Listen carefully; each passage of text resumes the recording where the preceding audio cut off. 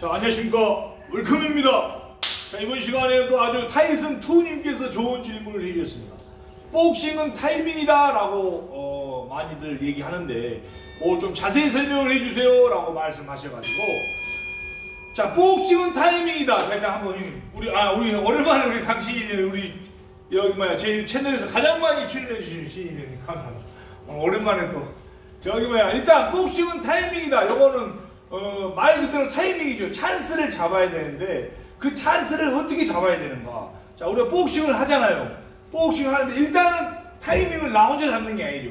상대의 움직임을 파악을 하고 상대의 움직임을 파악을 해서 그한 템포 빠르게 더 빠르게 더 강하게 일단 한번 보시기. 복싱 보시고 이렇게 좀만 더 뒤로 보고 이렇게 상대가 폭으로 해서 시작을 한다 시작을 해서 스파링 할때 쓱쓱 어느 찰나에 잽 줘보세요 지금 잽 들어오기 전에 내가 한 발짝 멈춰 스피드 있게 임팩트 있게 들어가. 가장 많이 쓰는 게 뭡니까 우리가? 들어올 때 그냥 빡 타이밍 한번 들어가 보세요. 빵빵 들어올 때 레프트 훅이든 쓱쓱 들어올 때 라이트 훅이든. 어느 찰나에 빡 임팩트 있게 빡 들어가는 게 타이밍이다라고 말할 수가 있는데 요거는 이 음, 매스복싱, 뭐 스파링 이런 거 많은 경험을 통해 가지고 상대의 움직임을 파악을 해야 돼요. 상대의 움직임 복싱 거지 움직임 파악을 해가지고 잽도 마찬가지겠죠. 잽죠 어느 찰나에 자 그리고 또 하나 여기서 말씀드린 거는 저도 같이 움직여야 되겠죠. 제가 늘 강조하는 쓱쓱 그냥 서 있다가 빡 들어가려면 이게 동작이 커져요. 오프이 되고. 그렇기 때문에 늘 말씀드린 쓱쓱 하다가 상대 상대 주먹이 안 나와도 움직임 움직이기만 해도 어느 찰나에 틈이 보이거든요. 그 틈에 타이밍을 잡는 거예요. 빡 어느 찰나에 쓱쓱 하다가 움직이다가 잽도 그냥 스트레스성 잽으로 그냥 타이밍 맞춰가지고 그냥 빡 쑤시면 이게 막고 이 울질 되거든요. 막고 간수도 그냥 연타 들어가면 되니까. 그 중요한 형님 한번왜 시야 수송 중에 빡 들어. 그렇죠. 제가 내가 잽잽잽잽줄 테니까 잽. 상대가 무의식적으로 잽을 줄 때도 그 타이밍 맞춰가지고 빡 들어가는 거. 그렇죠. 혹은 뭐 원투도 마찬가지고 상대 원투 들어올 때 라이트 훅 같은 거 그냥 들어. 그렇죠. 딱 지금 걸는 거예요. 이런 식으로.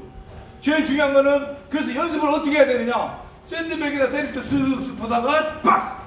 쓱쓱 하다가 빡! 이런 거 단타 연습도 많이 하고 쓱쓱 하다가 가장 많이 타이밍 요거 많이 걸리는 게 레프트 훅, 라이트 훅이겠죠.